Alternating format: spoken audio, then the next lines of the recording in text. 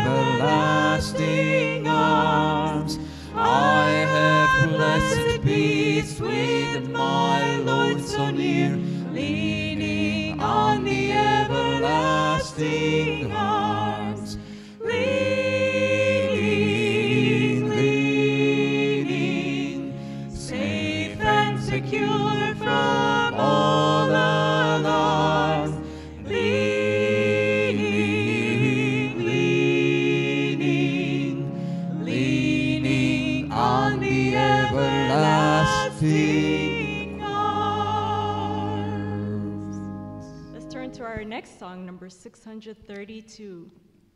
Until then, daily we are bombarded with events that would make us think that God has abandoned us or that he doesn't even exist. And this is when we remember that we need to live by faith and not by sight.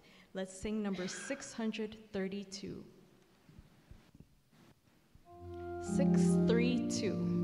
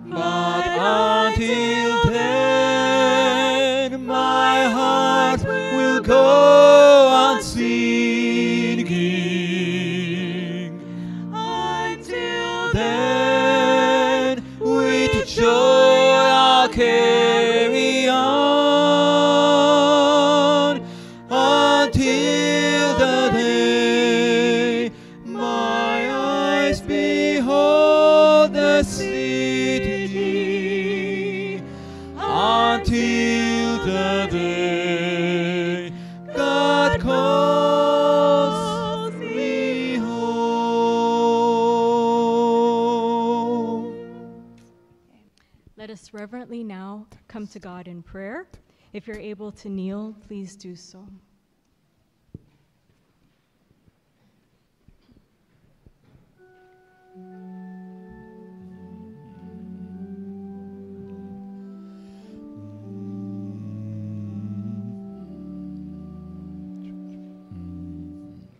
Dear Father in heaven, our everlasting arms, we lean on you this morning.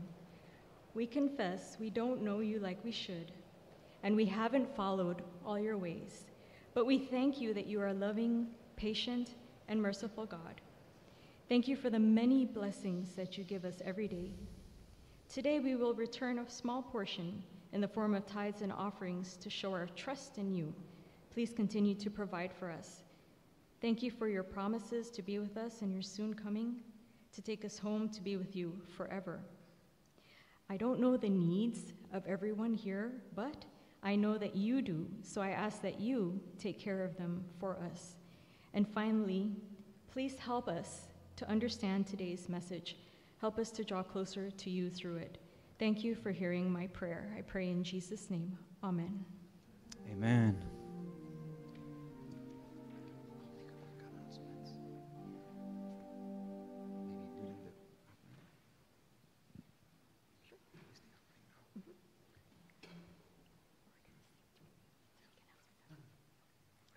Going to um, sing our next song now as the deacons collect the offering. So, deacons, please rise and collect the offering. And we're going to sing the well known song, Alleluia. So, just listen to my cues and we'll sing. So, first, Alleluia.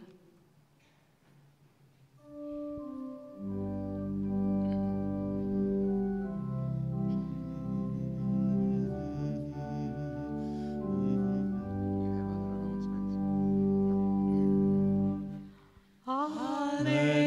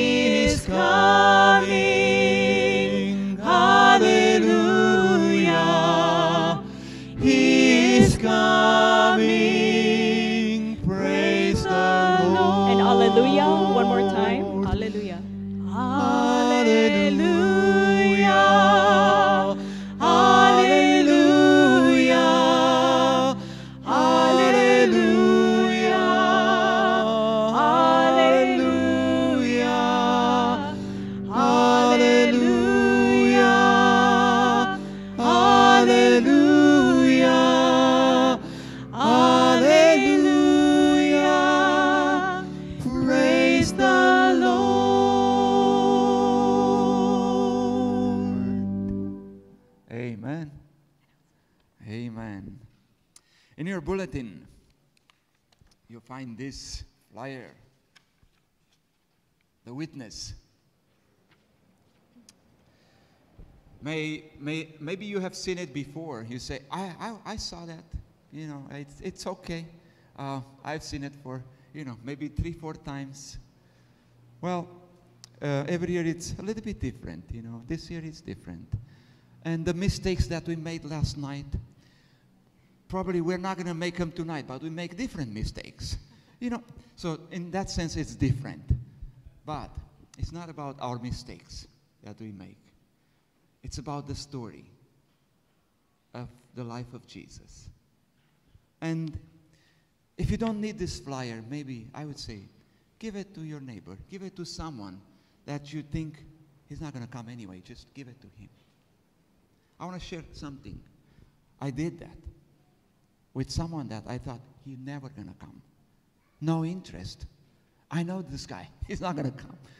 But, you know, I said, I'm just going to give him this, you know. Hey, look what we do for Easter. Come. Oh, okay, okay, okay. So, the first night we had, Thursday night, he came. He's not from here, he's from Australia. He was just traveling here. And I knew that next morning he's going to fly, and he has an early flight. And that's why I thought he's not going to come. But I'm just going to share with him. So he came. And at the end, the first night of performance, it's the worst night. It's still rehearsal for many of us, especially the new ones that they are there for the first time. And he came at the end. I went, I said, Oh, Grant, you're here. Yeah, it was a beautiful performance. I love it. I'm so. I wish my wife was here to see it, my kids, but you know, I enjoyed it so much. And it was midnight, 11:30 or midnight. I got a text from him. He said, "Peter, you know, I think I have to start going to church again. As I'm a Catholic, but I need to go back to church." A person that I thought I never, I'm not going to see him there. So, you know, just leave your expectations, put them aside. Don't matter what you think of one or the other person. Just invite someone. The worst person you think of is not going to come, and even if he comes, not going to have any, any effect on him. Just come. Do your part, and God does the rest. You know, it's not what we can do, but what God can do. So, if you have this flyer, take it with you. Or maybe if you, if you don't have a chance, just take a picture of this, send a text to someone that you think of, and I would recommend you do what I did. And please come. You come too. Maybe grab somebody with you. Come. Amen. Amen. Let's turn now to our opening hymn, number 694. 694, Praise God from whom all blessings flow. And please stand with me as we sing 694.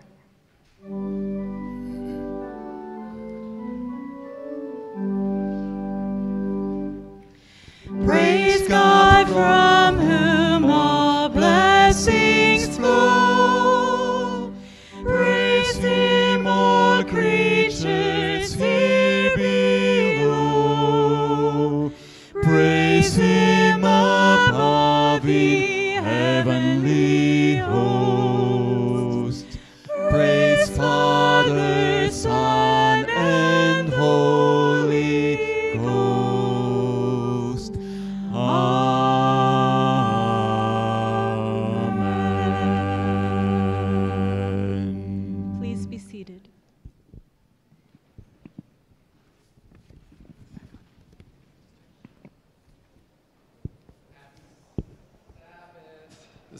There we go. Happy Sabbath. If all the little children could please come down the front, I'll be giving your story today.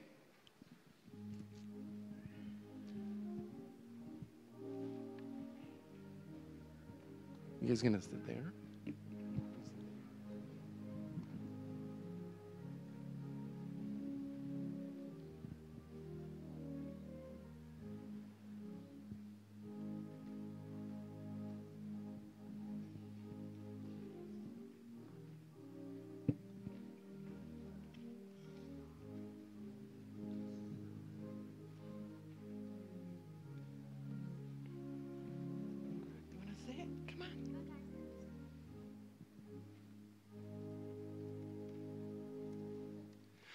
Happy Sabbath, you guys. Oh, come on. Are you guys not awake? Happy Sabbath. That's bad. Okay, I'm going to tell you guys a story. How many of you guys like trains? Trains, trains? A couple of you guys? Okay, so when I was growing up, we had a Thomas the Tank Engine train set. And oh my goodness, there we had so many. Uh, they're like wooden blocks, and you can put them together, and you can build your own train tracks. And then we had so many different types of Thomas the Tank Engine trains from the the uh, stories in the movies. And so what we would do is we would my dad would build these train tracks and they would go up and over the furniture and they would go all these amazing places. And so my brother and I we'd have so much fun doing this. But there came a point where sometimes I didn't like to share my my trains with him. Do you guys not like sharing sometimes? Is it hard to share sometimes? Do you like sharing your toys, Tate? Yeah, you do. Do you like sharing your toys, Tessa?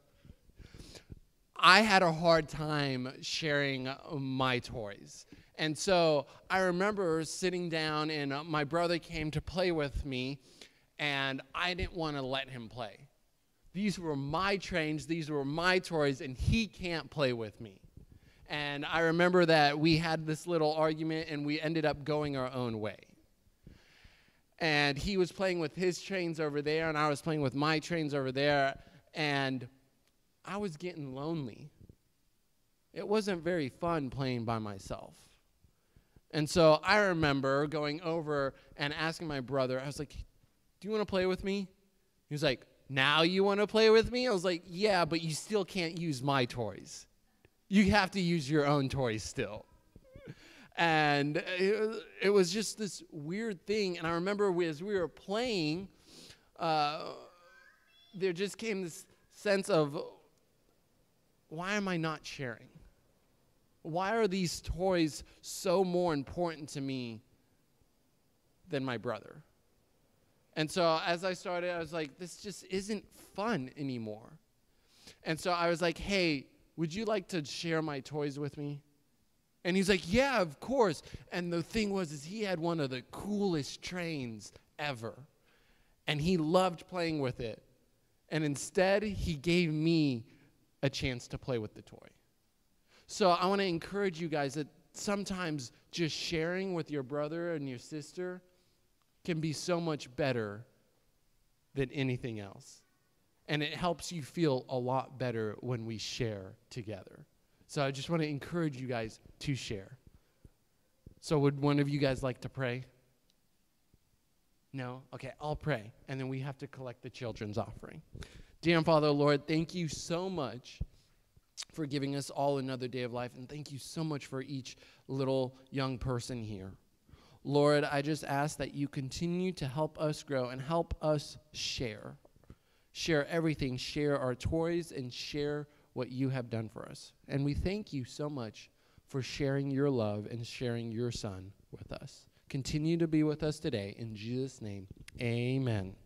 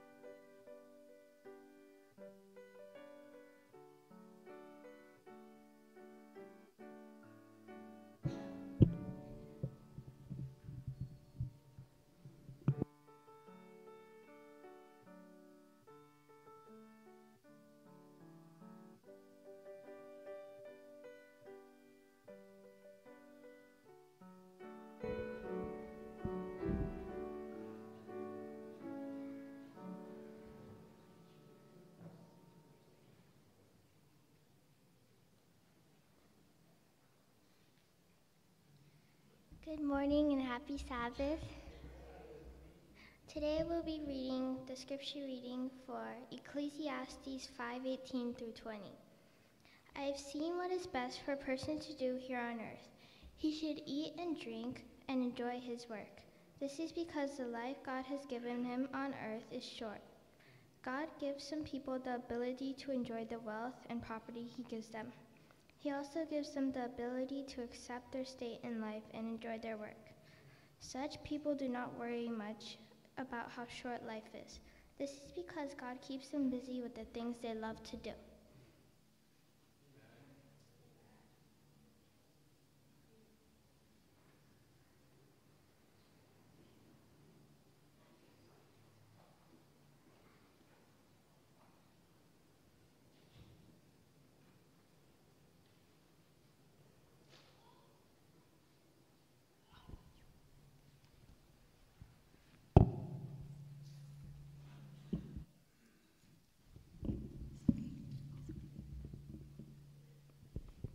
Good morning. Happy Sabbath again. Mickey and I are going to sing for you. His eye is on the sparrow.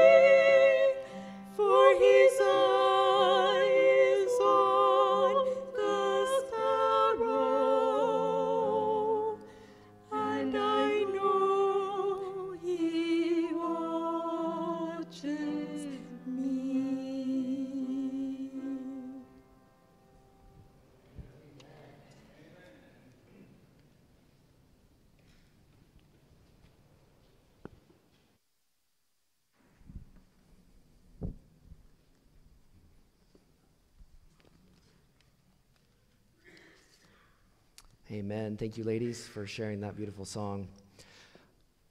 We serve an amazing God, don't we? This morning, you know, as we come from week to week, it's a good reminder that um, the presence of God is here before we arrive. And I th- happen to think that his presence lingers afterward.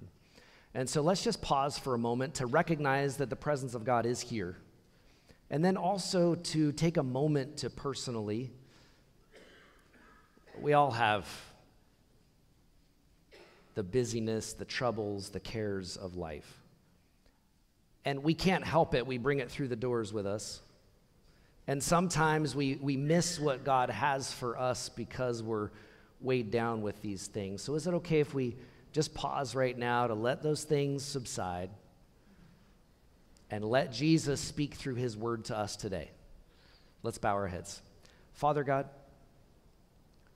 we are grateful that we are here this morning in your presence. We know that you are faithful. We know that you have something for each one of us, and it might be something different than the person sitting next to us, but you have something for each one of us to hear. And so we pray, God, that we will open ourselves up to you just now as we take a quiet moment, as we open ourselves personally to your spirit speaking to us today.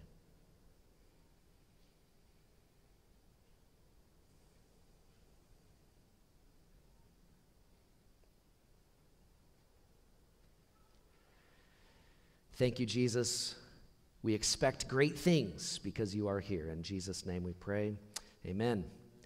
So, if this is your uh, first time in the last few weeks being with us, if you're a guest here today, or if you're a 50 year, you know, uh, member, VIP, whatever you might find yourself, this is an interactive service. So, I don't know if you've been to an interactive service before, but this is called the Bible Lab. And right now we're studying the kingdom table, tales, the parables that Jesus uh, shared with us while he was here that short time that he was here on earth. So if you do not have a study guide, please raise your hand. We'll make sure that you get one. And then you should also have interaction cards. Interaction cards. Does everybody have this? Anybody need something? Oh, we have right over here. Let's see. Oh, you need one too? Oh, we got Auntie Joanne's going to bring them to you. Thank you, Auntie. And so we'll make sure you have one to follow along with. Again, this is an interactive service, so the more that you participate, the more you will enjoy this service. And um, we're going to be studying today the parable that's titled The Rich.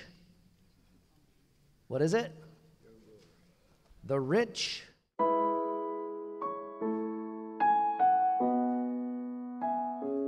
rich fool. Everybody's got a different version here. What does it say there? The rich fool. All right, we're going to look at and see why is it titled the rich fool and is that accurate or not? But let's start out by asking some questions and you have your comment cards. You want your yes, no or maybe cards out right now to be able to use. So you should find those yes, no or maybe cards. And then as time goes along, you may find that you have a comment or a question or you resonate, somebody says something and you say, wow, I really love that. And you may hold up your love it card, okay? Um, so, yes, no, maybe. You ready? Here we go. Got some questions for you. I am more financially stable than the person sitting next to me. I am more financially stable than the person sitting next to me. wow, we have quite the mixture. Uh huh. Some of you are saying, well, maybe. Uh huh. Oh, somebody says no. we actually have a number of no cards. So if you're sitting next to each other and you both have the same answer, then that's trouble, right? Nobody wants to, to, to admit. Um, all right, number two retirement is or will be the most relaxing period of my life. Retirement is or will be the most relaxing period of my life. Okay, I'm seeing a lot of yes cards out there. Uh, some maybes, all right? And we have a few no's as well. Um, this, this gets fun. All right. I become extremely uncomfortable when I receive a large, unexpected amount of money. I become extremely uncomfortable. Uh, there's a lot of people saying, no, I'm not uncomfortable at all. Some people are saying, yes. Uh, you know, I, I love the, the, those that raise the yes card. If you need any help deciding what to do with that, we've got lots of projects that, uh, that I could certainly bend your ear on. I would love that. And some maybes. All right, all right, good. All right, what about God only gives us, now this is interesting, this goes back to our own environment, our own experiences in life. God only gives us the amount of money that we can handle and not lose sight of Him. So God's only going to give you what you can handle, but yet not cross over that line where we lose sight of Him. Okay, uh, uh, quite a few yeses. Those that are raising cards, probably 60, 70%. Uh, wow, seeing maybe 30%, um, 30% maybes and, and a few no's. All right. Good. All right. You see how this is getting us thinking, right? Getting us processing. That's good. All right. Money is the root of all evil. Money is the root of all evil. I see some maybe cards. So I see some yeses, uh, but most people are saying no. All right. Money is not the root of all evil. All right. Interesting. All right. Good. Good. Well, we're going to we're going to study a little more into this this morning. What is it that God is trying to speak to us? But before we even go there, I want to ask you a, maybe a more personal question or something that's more applicable to you as a person. So, this will be a time where you raise your comment card so we can hear your thoughts. For those who are working towards retirement, what are you most looking forward to? For those of you that are looking forward to retirement, we do have a microphone for you um, if you have a comment to make. Those that are looking forward to retirement, what is it that you're most looking forward to? Or maybe if you're already retired, what's uh, for the retirees out there? What do you enjoy the most about retirement? So either what are you looking forward to, or what are you enjoying the most? Just to shout it out: freedom, freedom. All right, good, good, good, good. No homework. All right, said by our faithful teacher. no more grading homework? Oh, okay, okay. homework or grading homework. All right, good. Anybody else? What are you looking forward to most or have you enjoyed the most? We have one right back here. Oh, Cowie's got you. Perfect. Green mic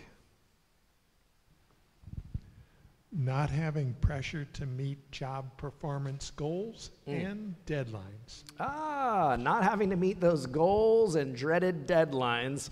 I might hear an amen over here if they're thinking of somebody in particular that has lots of deadlines throughout the year, over and over and over again. You know, you, you work up to those deadlines and whew, you relax for about three hours and then you realize you have another deadline coming up. yeah, see some heads nodding over here. Yes. Wow. Okay. What is it that you enjoy the most out of retirement or that you're looking forward to the most? Anybody else? Tate's looking forward to retirement. Good. Over here. Oh, Auntie Wilma oh, has one. I'm oh, a, sorry. I'm a little bit young, but I'm waiting. Yes? I'm waiting to get to my to do list. Your to do list. Okay. All right. You have a to do list. So you're looking forward to that in retirement. I w- uh, well, I'm already retired, but I was looking forward to spending time with my 18 grandchildren and spending a hobby because I have a farm. I wanted to see if I could get my farm under control and sleep in late. Sleep in late. More, but that hasn't come true. so, Auntie Wilma, you're retired now, right? Okay. So, just wanted to remind you that you are retired now because you, you sound like you're still looking forward so it's okay to sleep in late tomorrow, all right? I think. Wow, that's good. Well, uh, we love your, your love for life and your grandkids. Yes, that's the, the best part about retirement, right? Spoil the grandkids. All right. Anyone else? Oh, yes, right in the back.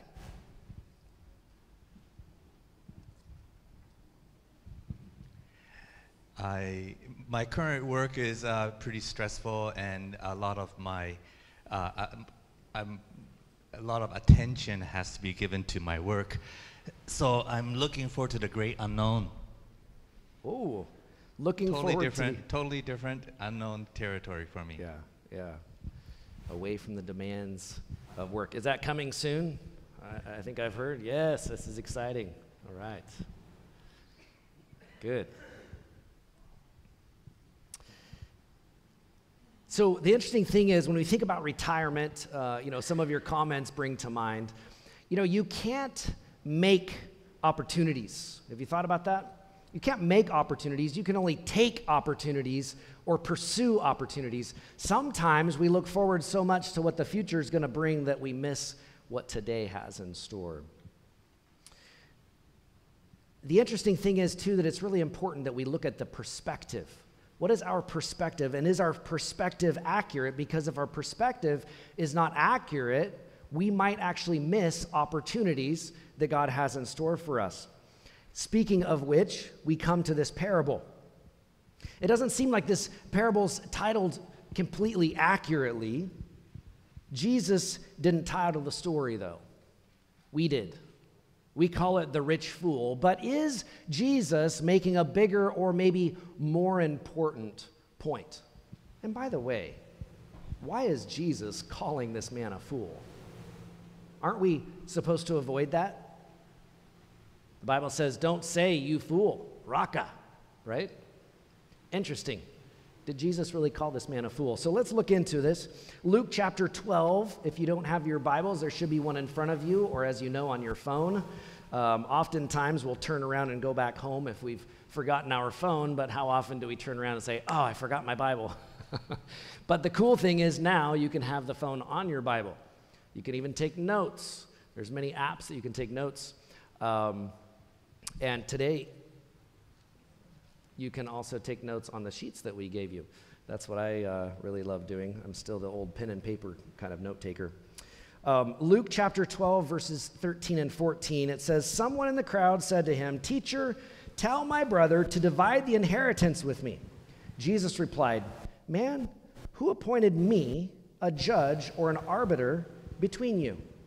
Now, it's easy to read right past this in our current tradition, our current culture of today, and miss some of the deeper meaning that Jesus was uh, conveying here.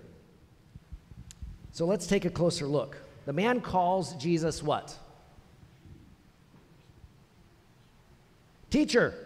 This is Luke's favorite word for rabbi. You'll see rabbi in some of the other books. But teacher, the same root word there, uh, it's didaskale. Didaskale, teacher. It was a common practice to seek out the teacher or the rabbi with your issues of law. So you would look for a rabbi to come and give your grievances to, and oftentimes they were very aware of the current local laws. And so they would give some input, they would give feedback, and so you would avoid having to go to the higher courts. They would help you settle your matters, your issues. So the man, man in the crowd assumed hey guys, we're getting some feedback. We're getting some feedback in the mics. I'm not sure. Thank you. Um, so the man in the crowd assumed that he was addressing a legal expert when he came to Jesus, someone familiar with those laws. And so, what is his request, or dare I say, his demand? What did you see there? Teacher, tell my brother to divide the inheritance with me. It's not like he's seeking advice, is he? He's just saying, hey, hey, you, can you fix this problem over here? Right? Or fix this problem over here. But it literally, he's saying, order my brother to make portions of the abundance order my brother to make portions of the abundance. He's saying, hey, look, I want you to split things up between us. We've just come into this big windfall, and I want my share, I want out. This was actually quite offensive in the culture of the day. It was very offensive. Why is that? Well, because back then, when a father would pass away and leave his business behind to the family, it wasn't something that they would just portion up. You know, today sometimes that's how it works, right? Say, oh, I, you know, people just say, oh, I want my money out of it, you know? And so then they split it up between the family. Well, this was not a common practice. It was actually a time where the family would come together and sit down and say, how are we going to make this business successful or even more successful? How are we going to carry on this family business, if you will? So he was being very disrespectful in what he was trying to do.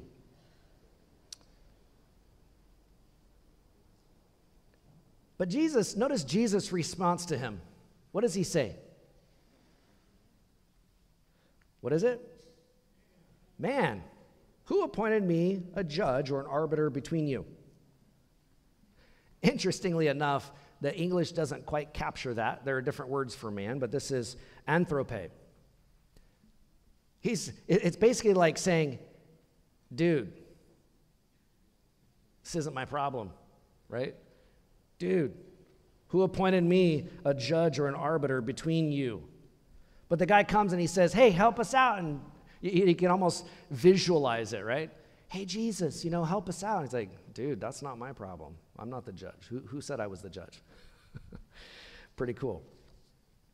But let's keep reading. Luke chapter 12, 15 to 20. Then he said, just listen into the story, watch out, be on your guard against all kinds of greed life does not consist in an abundance of possessions. And he told them this parable. So now Jesus goes into a parable. The ground of a certain rich man yielded an abundant harvest. What do we call that? A bumper crop. Yeah, a bumper crop. He thought to himself, What shall I do? I have no place to store my crops. Then he said, This is what I'll do. I'll tear down my barns and build bigger ones, and there I will store my surplus grain. And I'll say to myself, You have plenty of grain laid up for many years. Take life easy, eat, drink, and be merry. But God said to him, You fool. This very night your life will be demanded of you. Then you then who will get what you have prepared for yourself? This is how it will be with whoever stores up things for themselves but is not rich toward God. Interesting. The parable of the rich fool. What is this parable really about? And is the rich fool really the best title? What do you think this parable is really about? Anybody have a, a thought or a comment so far? Anything that maybe you picked up? maybe in the past or even now as we're reading through it? Covetousness. Okay. Anybody else?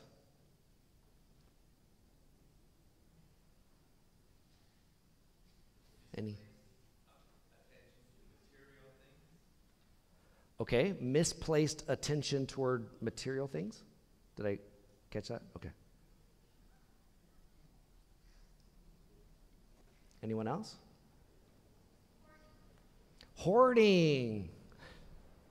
He was hoarding, yeah. Interesting. Yes.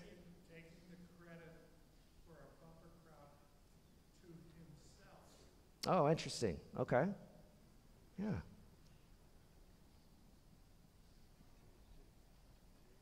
Any other thoughts?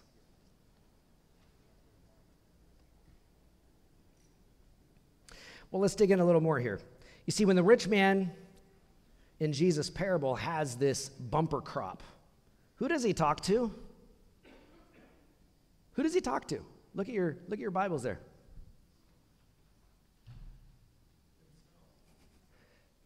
Psyche. He's talking to his psyche, his inner being, his soul. He's talking to what's inside. Interesting he's talking to himself. He says, Self. So he says to himself, Self, what do you think? And then he has this like conversation with himself. A little bit of a problem there, right? So his first problem, um, and, and why is this so important? Well, again, I'll remind you that in the Middle East, They would gather the family around if there was some kind of a bumper crop or something happened, and you would talk to the family and you, and you would, you would have this discussion about what are we going to do with this? How should we proceed? How, how can we uh, make the best out of this amazing year that we've had, right? So, does he talk to his family? No.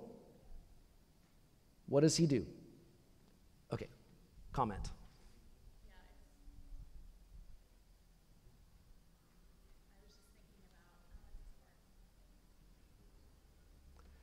Should be green. There we go.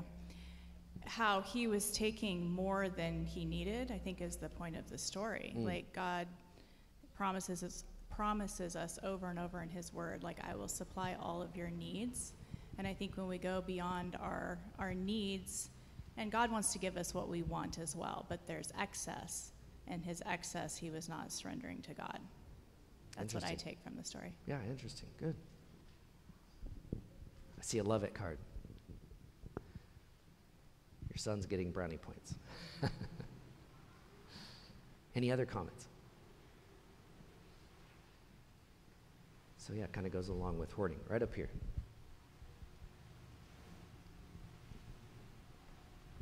Uh, I think another point is like God is saying, or Jesus is saying, like it's okay to. It's not bad to be rich, but if you make it like if you're like, I'm rich, and I think at the end it says like he who lays up his treasure for himself is not rich, but is not rich towards God. Mm. You know, it's like you can be rich and still like have a good relationship with God, but like who are you gonna give your money to? You can't just keep it for yourself and make it your whole like, I'm rich.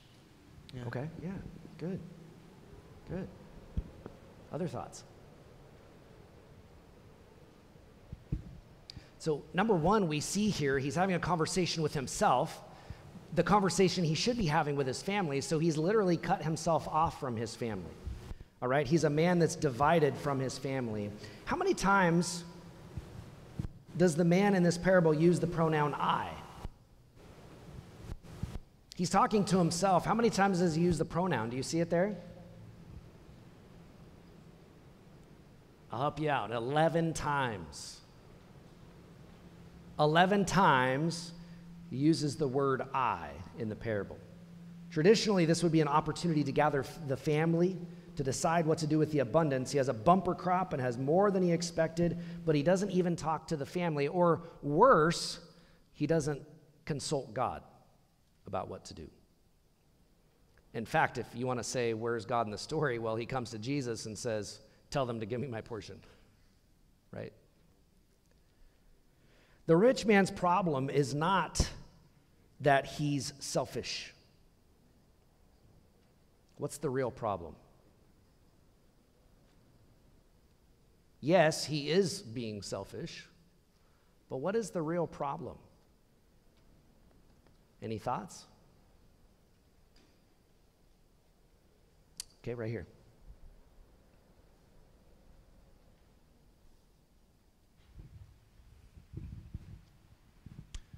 He left God out of the calculations. Okay. He thus took God's glory to himself, and in doing so, he worshiped himself rather than God. He Mm. became his own idol. Mm. So can I can I use the word maybe uh, two words self-sufficient?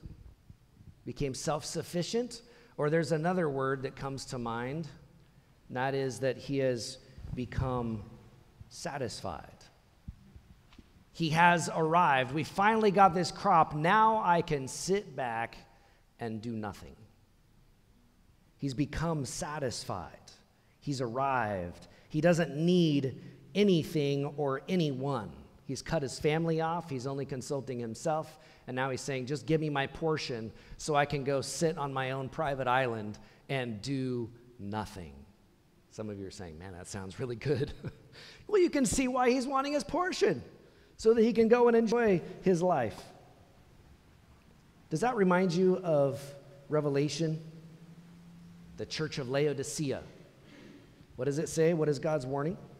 Saying, Look, you're saying to yourselves, I'm rich, increased with goods, and have need of nothing. You see, that's a big problem, isn't it? It's quite troubling. I no longer have to work. I can take a deep breath ah, and do nothing. Sounds good. Sounds good, but that's not God's way, is it? You see, comfort is actually the biggest enemy of the church today. Did you know that? Comfort is the biggest enemy of the church. Some would say conflict. But I would disagree because conflict actually gives us the opportunity to sit down, to talk things out, to work things through, to say, oh, interesting, share your perspective, I'll share my perspective. And then at the end of the day, we can make a decision and move forward. But you see, when you've become satisfied or you've become uh, comfortable, growth stops happening, right? So conflict gives us the opportunity but comfort says, Leave me alone. I'm just going to hang out and coast in life. So, Jesus is, uh, who are you calling fool? Jesus calls the man a fool. So, we still got to deal with that one because we all know. The, the kids know this, right? Are you supposed to call someone a fool? No, of course not. Of course not. The Bible says don't say raka. Okay, but there's a different meaning here that Jesus is getting to when he calls the man a fool. Again, this is English, right? So we need to look back at the original language. We have a question over here. We'll come back to this. What do we do then with the passages such as in Hebrews 13, verses 5 and 6, which mm. says, uh, Be content. Let your conduct be without covetousness which is what this guy had. Mm-hmm, mm-hmm. Uh, be content with such things as you have. And then again in Paul said in 1 Timothy, now godliness with contentment mm. is great gain. So yes, this yes. I, I understand where you're coming from on this yeah. idea. We can be so contented that we uh, ignore God. Okay, good and I think these verses are pointing out the fact, yeah, we can be contented, and God wants us to be contented with our relationship with Him. Mm. That we can rely upon Him, that He is faithful, He is trustworthy. And when He allows us and teaches us how to be godly, that godliness, which comes from Him, mm-hmm, mm-hmm. with contentment, the yeah. combination of those two, boy, that's yeah. what we should aim for. Wow, okay, good. Good thoughts. In fact, we're getting to that in just a moment. Um, we're going to look at two Greek words, and it's going to help to answer just that question. So thank you for that question and comment. Um, so let's deal with this one first, though. Jesus says to him, You fool, right? So, what did Jesus really say, and what did he mean by it? Okay, we're going to look at two different words you see there, you have euphrino. Euphrino, which means what? Rejoice, be glad, to celebrate. Is there anything wrong with that? There's nothing inherently wrong with that. We want to rejoice. We want to celebrate. We want to kick back sometimes and drink our pog at the beach in our lounge chair, right? That's not sinful. That's not wrong. But is that what Jesus is saying to this man? No. No. He says, You fool. He says, Aphron. The word used in the Greek, the root word is phron, and phron literally means diaphragmless. Diaphragmless. So rather than just taking a breath of, of air and letting it out, he's saying, You're completely missing it right? So he's saying, look, so he's not saying you're, you're a fool like Raka. You're good for nothing, you're an idiot. He's not saying that. He's saying you're a fool, meaning you're incompetent. You're not really thinking this through. You are diaphragmless. Okay? Basically, what he's getting to is he's saying, so he says aphron, okay? So diaphragm is phron, Aphron is diaphragmless, like you don't even have a diaphragm. So Jesus is warning us not to get to the point in our lives when, that when we receive the bumper crop, that we just use it however we want. We don't help the people around us that need help. We don't use our bumper crop to be a blessing or to help others. He's giving us this warning. And so he calls this guy a satisfied, diaphragmless man. So now we have the new title. We can write now to Thompson chain reference. Tell them they need to change the title to what? Satisfied, diaphragmless man. What do you guys think?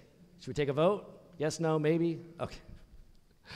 Of course, that's why, that's why we call it the rich fool. That's easier, right? the rich fool. But when we dig deeper, we realize Jesus is saying something much bigger here. Much bigger. He's saying You've become so self satisfied. You just want to hoard these things for yourself. You don't want to talk to anyone else. You don't want to be held accountable. You're a fool. That's our English word for it. You're a fool. You don't want responsibility. And why is Jesus saying this to this man?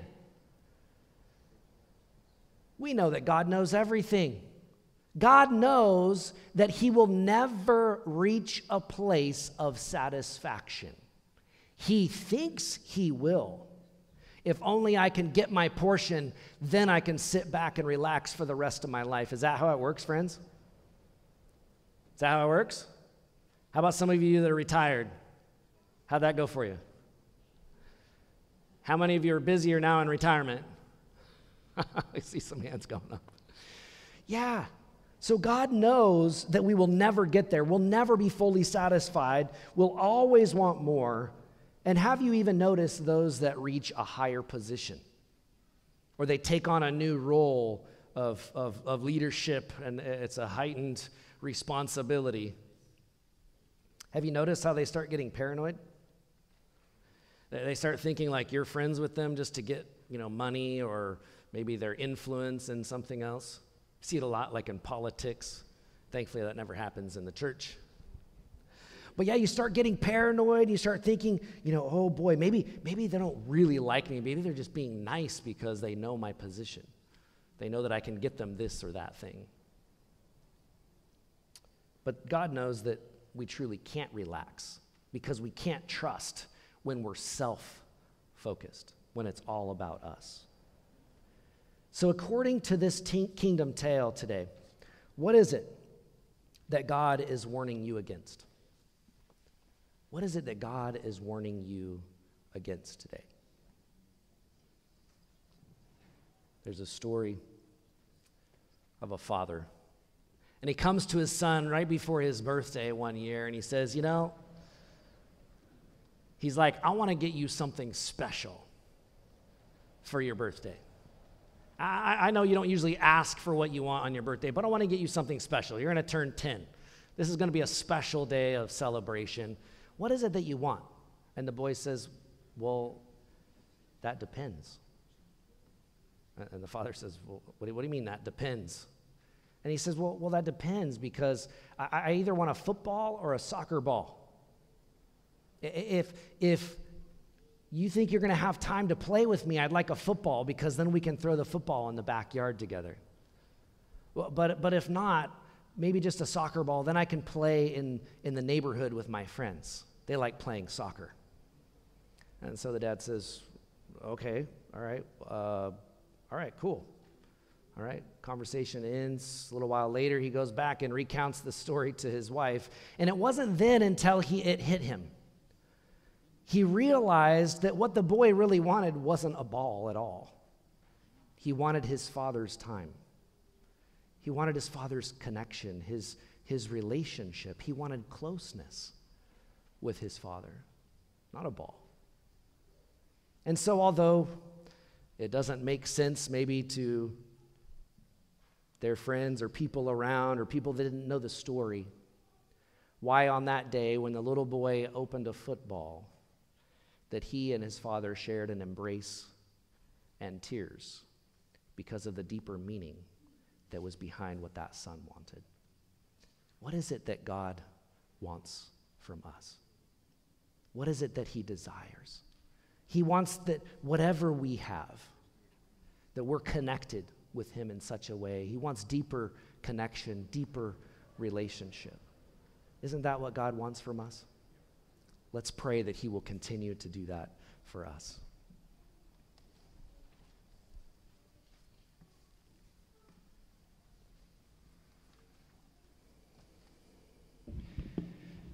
Father God, we thank you so much for your wanting to have special time with us. Help us to want the same thing to spend more time with you, to know more of you, and to know you. We ask that you will continue to guide us, and may your Holy Spirit provide what is needed. In Jesus' name I pray. Amen. Amen.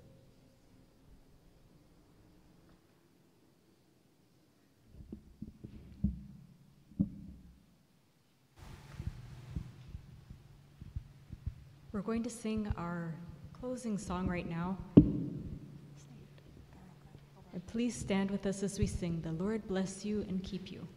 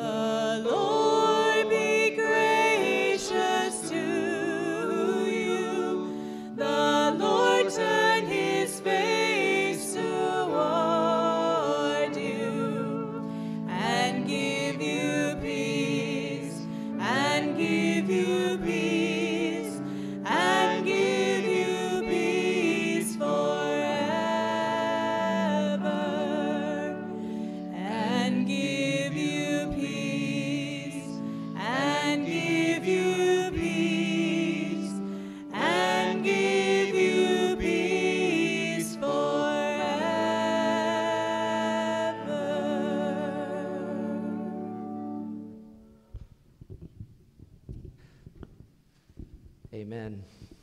Now may the Lord bless us and keep us until we meet again in his name. Amen.